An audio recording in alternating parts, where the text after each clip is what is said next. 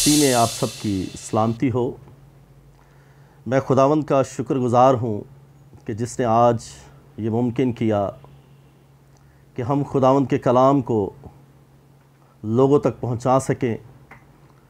मैं मोहतरम जनाब डॉक्टर सुल्तान साहब का और सीटीएन की पूरी टीम का शुक्रगुज़ार हूँ। जिसने ये मुमकिन किया कि हम खुदावंद की खुशखबरी को, इंजील की मुनादी को लोगों तक लेकर जा सकें। और खुदावंद, भला खुदा है जो हमारी ज़िंदगियों में ऐसे लम्हे लाता है कि हम अपने ज़िंदा खुदा बाप के नाम को इज़्ज़त व जलाल दें। तो मेरे बहनों, भाइयों, जैसा कि आप जानते हैं कि हम आज किस दौर में से गुज़र रहे हैं, आज हम इस दुनिया में रहते हुए किन किन मुश्किलात में हैं तो सिर्फ़ और सिर्फ़ खुदा का कलाम है, जो हमें संभालता है, जो हमारी रहनुमाई करता है, जो हमारी रहबरी करता है।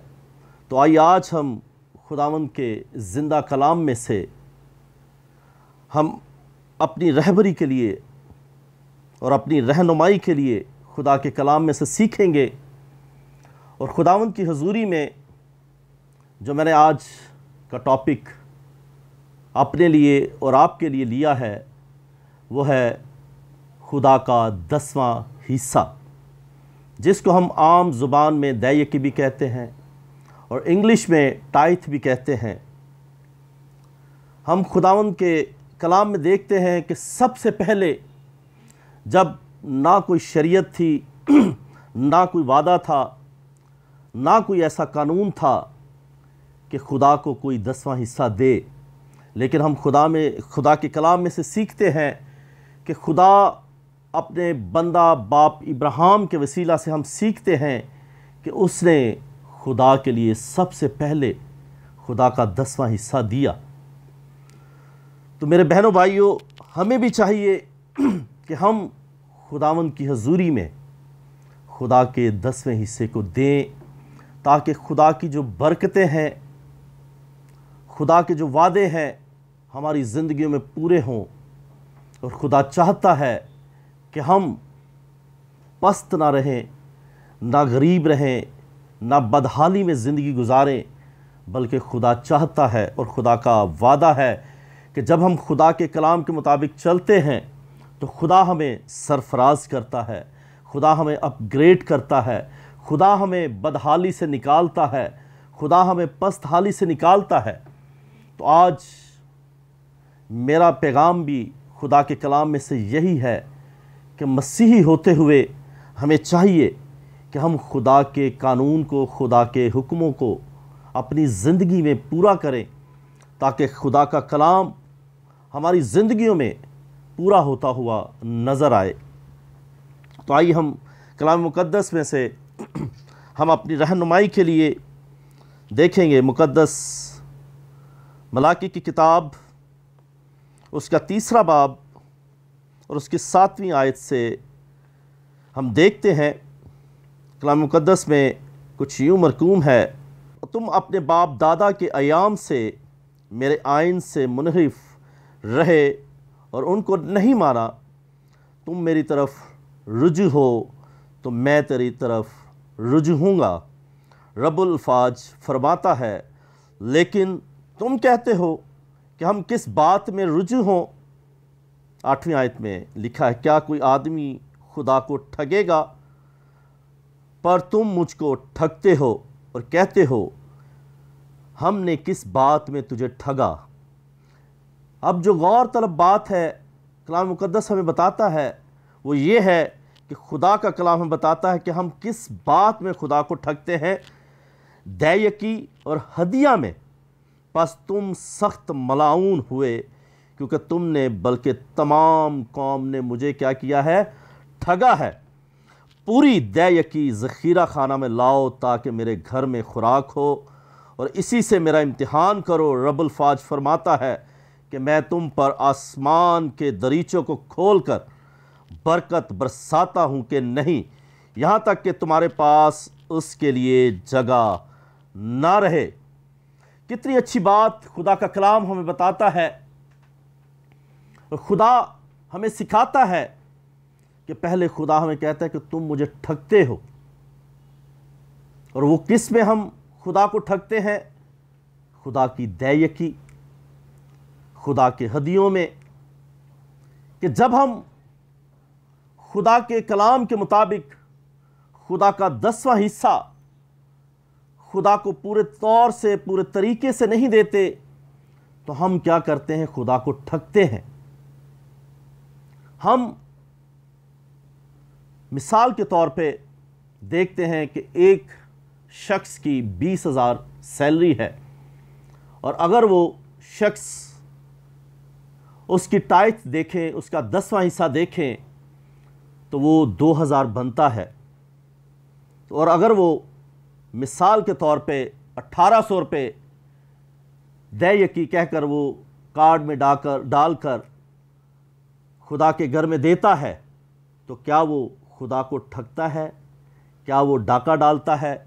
हाँ मेरे बहनों भाइयों, वो खुदा को ठगता है। वो खुदा के पैसा पर, खुदा के कलाम के मुताबिक नहीं करता, बल्कि वो क्या करता है? चोरी करता है। डाका डालता है। इसीलिए खुदा का कलाम हमें कहता है कि हम क्या हैं? खुदा को ठगते हैं। तो मेरे बहनों, भाइयों, हमें चाहिए कि खुदा के कलाम को अपनी ज़िंदगी में पूरा करें, ताकि खुदा के कलाम के वादे हमारी ज़िंदगी में पूरे हों।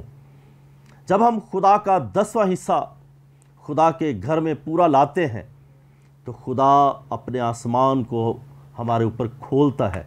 और खुदा ने इससे आगे कितना अच्छा वादा किया है कि जब हम खुदा के लिए अपनी मुट्ठी को खोलते हैं और खुदा का दसवां हिस्सा खुदा के घर में लाते हैं तो लिखा है कि पूरी दय यकी ज़ख़ीरा खाना में लाओ ताकि मेरे घर में खुराक हो और इसी से मेरा इम्तहान करो।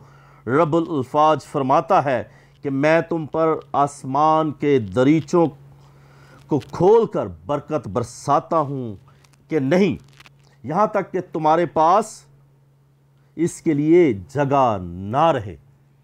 कितनी अच्छी बात खुदा का कलाम हमें बताता है कि जब हम खुदा का दसवां हिस्सा, खुदा के घर में, खुदा के ज़ख़ीरा खाना में लाते हैं तो खुदा हमें बताता है कि खुदा अपने आसमान के दरीचों को हमारी ज़िंदगियों पर, हमारे ख़ानदानों पर, हमारी फैमिलियों पर, हमारे घरानों पर खुदा अपने आसमान के दरीचों को खोल देता है। और जब खुदा अपने आसमान के दरीचों को खोलता है तो खुदा की बरकत, खुदा के वादे फिर क्या होते हैं? हमारी ज़िंदगियों में पूरे होते हैं। और जैसा खुदा ने कहा कि जब खुदा के आसमान के दरीचे खुलते हैं तो खुदा के कलाम में लिखा है कि तुम्हारे पास उसको रखने की जगह भी नहीं होगी। तो आइए हम खुदा के ज़िंदा कलाम में से देखते हैं कि सारपत की बेवा जब एलिया नबी उसके पास आता है तो जब एलिया नबी उससे कहता है कि मुझे तो सबसे पहले रोटी बनाकर दे तो सारपत की बेवा उस नबी को क्या कहती कि मेरे पास एक मुट्ठी आटा और कुप्पी में क्या है? थोड़ा सा तेल है। मैंने और मेरे बेटे ने ये रोटी खानी है और मर जाना है। लेकिन मर्द खुदा एलिया नबी ने उस सारपत की बेवा से क्या कहा कि सबसे पहले तू क्या कर, मेरे लिए रोटी बनाकर ला। मेरे बहनों, भाइयों, अगर आज हम इस कलाम को अपनी ज़िंदगी पर लागू करें और अगर आज कोई खादम, कोई पादरी, पास्टर, मुबशर किसी ख़ानदान में जाता है और अगर उस ख़ानदान में यही सिचुएशन हो और पादरी जाकर यही कहे तो आज की बेवा क्या करेगी? वो खुदा के खादम को रोटी नहीं बना कर देगी, बल्कि उसको ताने देगी कि क्या तुम्हें पता नहीं कि मेरे पास पहले ही खाने को नहीं। हम खुदा के कलाम में से देखते हैं, उस सारपत की बेवा ने इस तरह से नहीं कहा, बल्कि उसने खुदा के खादम, खुदा के नबी, खुदा के बंदा का क्या किया हुक्म माना। और उसको क्या की? रोटी बना कर दी। तो जब खुदा के खादम ने वो रोटी खाई तो हम खुदा के कलाम में से देखते हैं कि उस सारपत की बेवा के घर में से ना आटा ख़त्म हुआ, ना कुपी में से तेल ख़त्म हुआ। तो ये खुदा के वादे हैं कि जब हम खुदा के लिए अपने आप को मुहैया करते हैं, अपने रुपए पैसे को, माल को जब खुदा के लिए खर्च करते हैं, और अगर खुदा कह देता कि सारा पूरा का पूरा माल मेरे लिए लाओ तो हम क्या करते? क्या हम खुदा के लिए ना देते? लेकिन खुदा ने एक कानून ठहराया, एक हुक्म दिया कि खुदा के घर में खुदा का दसवां हिस्सा, जिसको हम दैय की कहते हैं, लेकर आए। तो अगर आज हम खुदा का दसवां हिस्सा, खुदा की दैय की खुदा के घर में नहीं लाते तो हम खुदा के क्या हो जाते हैं? मुनकर हो जाते हैं। खुदा के मानने से इनकार कर देते हैं, क्योंकि खुदा का कलाम हम अपनी ज़िंदगी पर जब लागू नहीं करते तो हम फिर किस तरह से कह सकते हैं कि हम खुदा के मानने वाले हैं? खुदा के लोग हैं। हम खुदा के कलाम के मुताबिक चलने वाले हैं। एक खादम होते हुए अगर हम ये कहें कि मैं जी खुदा की खिदमत करता हूँ और मैं खुदा का दसवां हिस्सा नहीं देता तो ये भी गलत है। सबसे पहले खुदा के खादम को क्या करना है कि ज़ख़ीरा खाना में लीडर होते हुए, लीडरशिप करते हुए खुदा के खादम को भी चाहिए कि अपना दसवां हिस्सा खुदा के घर में लाए। तो तभी वो अपने लोगों को, अपनी कलीसिया को सिखा सकता है। मेरी ज़िंदगी में ऐसी बहुत सारी गवाहियाँ हैं कि जब मैंने खुदा के कलाम में से ये सीखा कि खुदा का दसवां हिस्सा देना है। तो ये पहला मैसेज, जब मैंने सन 2000 में खुदा के कलाम में से सीखा, खुदा के बंदा से सीखा, नौ दिन की इबादत थी फिलदल्फिया चर्च में। तो जब वहाँ खुदा के बंदा ने दय के बारे में सिखाया तो मैंने उस वक्त अहद किया कि जब भी मुझे खुदावन जैसे ही जॉब देगा, नौकरी देगा तो मैं खुदा का दसवां हिस्सा पूरे तरीके से खुदा के लिए क्या करूँगा? ज़ख़ीरा खाना में उसकी हैकल में उसके घर में लाऊँगा। तो मेरे बहनों, भाइयों, आप यकीन करें, ये मेरी अपनी ज़िंदगी की गवाहियाँ हैं कि खुदा ने फिर आसमान के दरीचे मेरी ज़िंदगी पर, मेरे घराने पर, मेरे ऊपर खोले और खुदा ने कभी भी कमी नहीं आने दी। और जैसा कि खुदा का कलाम बताता है कि तुम कर्ज नहीं लोगे, बल्कि क्या करोगे? कर्ज दोगे। जब हम खुदा के लिए, खुदा के कलाम के मुताबिक अपने रुपए, पैसे को खर्च करते हैं तो खुदा फिर हमारी ज़िंदगियों में, खुदा हमारी घरानों में अपनी बरकत को उंडेलता है। हम एक और मिसाल देखते हैं। खुदा ने दाऊद नबी से कहा कि तू मेरी हैकल बनाना, लेकिन वो ना बना सका। उसके बेटे सुलेमान ने जब खुदा के घर को बनाया, मिसाल के तौर पे अगर सुलेमान नबी ने 500 गज पर खुदा के घर को बनाया तो मेरे अजीज़ों, मेरे बहनों भाइयों, मैं आपको बताना चाहता हूँ कि अगर सुलेमान ने 500 गज पर खुदा की हैकल को तमीर किया तो खुदा का कलाम हमें बताता है कि खुदा ने उसके घर को, उसके महल को डबल करके उसको वापस दिया। खुदा की हैकल से, उसका घर खुदा की हैकल से बड़ा था। तो खुदा के कलाम में लिखा है कि खुदा किसी का कर्ज अपने ऊपर नहीं रखता। तो जब हम खुदा के लिए अपने रुपए पैसे को देते हैं, अपने टाइम को देते हैं, अपने टाइम की दैयकी को देते हैं तो खुदा उसको मल्टीप्लाई करता है, उसको ज़र्ब करता है। मिसाल के तौर पे हम अगर दो रुपये खुदा के लिए देते हैं तो खुदा उसको फिर चार रुपये करके हमें क्या करता है? वापस करता है। और खुदा ने मेरी ज़िंदगी में भी सेम इसी तरह ही किया। जब मैंने खुदा के लिए अपने माल को खुदा के लिए खर्च करना शुरू किया तो खुदा ने आज तक मुझे फिर कर्ज लेने नहीं दिया, बल्कि मैंने अपनी मुट्ठी को क्या किया है? ऊपर ही रखा है। मैंने दूसरे लोगों को कर्ज दिया है। और खुदा की ये बरकत है। क्योंकि खुदा के वादे, सारे वादे हाँ के साथ हैं। कोई ऐसा वादा नहीं कि जिसमें कोई जुम्बश हो, जिसमें कोई लर्गजिश हो, जिसमें कोई ना हो, बल्कि खुदा के सारे वादे हाँ के साथ हैं। और खुदा अपने कलाम को चाहता है कि हमारी ज़िंदगियों में पूरा करे। और खुदा का कलाम हमारी ज़िंदगियों में पूरा होना चाहिए। इसीलिए खुदा का कलाम हम बताता है कि हम क्या करें कि खुदा के घर में पूरी दयकी ज़ख़ीरा ज़ख़ीरा खाना में लाएँ, ताकि खुदा के घर में खुराक हो।